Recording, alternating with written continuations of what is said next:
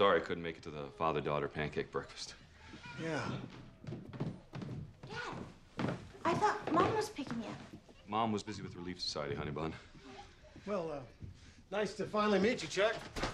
You too, Bill.